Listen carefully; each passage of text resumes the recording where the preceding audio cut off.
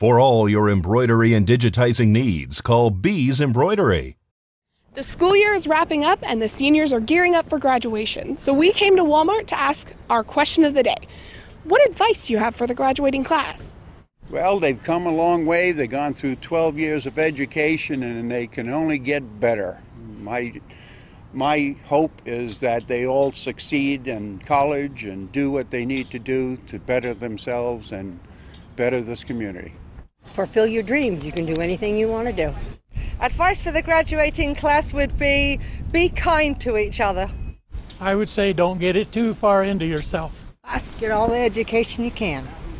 Not be afraid because you're definitely going to make mistakes no matter what your parents tell you or your teachers tell you. It's hard, but just have fun. Don't take everything so seriously, and eventually you're going to get to where you want to be.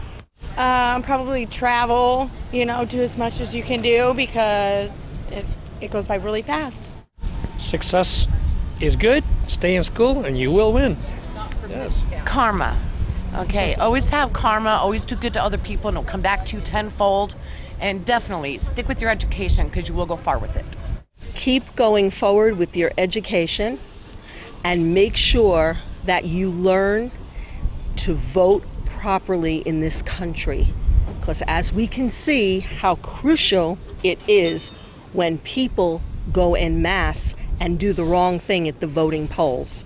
Please, please, please educate yourselves, educate yourselves, educate yourselves. Best way to go. Keep going. We'd like to thank manager Alan Rogers and Walmart and everyone who participated in our question of the day. KPVM TV and Ace Country Radio would also like to congratulate the 2017 graduating class. That's your question of the day, and I'm Katlyn Boyer, reporting for News 46.